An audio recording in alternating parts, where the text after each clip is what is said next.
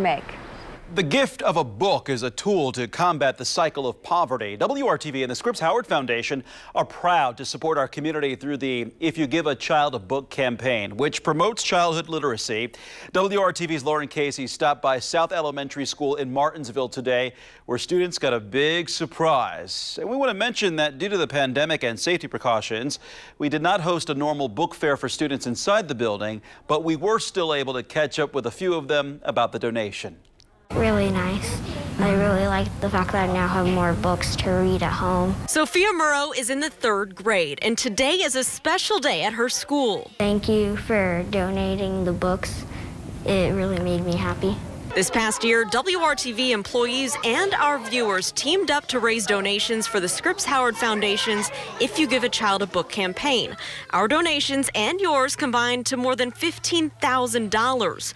So, what does that amount of donations equal in terms of books? Well, it means we're donating 3,150 books to kids at South Elementary School in Martinsville and also Urban Act Academy in Indianapolis.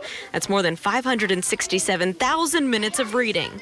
And today, our efforts and yours are shown through the smiles under these masks here at South Elementary. Recently, I've been reading an American Girl doll book called Meet Molly. Olivia Jeward is only in second grade, but hopes to share her big love of reading with others. I feel really excited to read it to my little sister.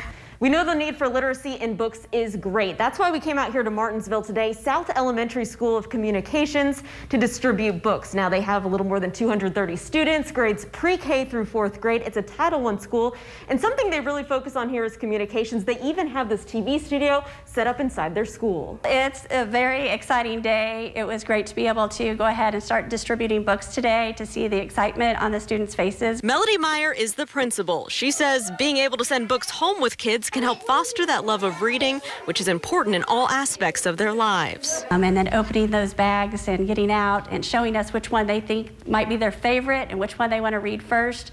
It was great to see that excitement. And for fourth grader Quinn Thatcher, anyone can become a lover of reading. Find a type of like what kind of genre of book, like fiction, nonfiction. And just find one of those you like and then find a book that's in that like category and then just start reading it.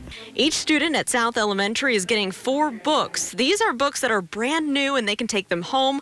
We're also donating additional books to their classroom libraries. Reading helps your brain and it just helps you get new words right in your head. Working for you in Martinsville, Lauren Casey, WRTV.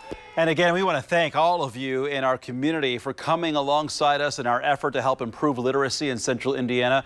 We can always use your help to reach more students in need. To donate, you can visit WRTV.com slash give a book.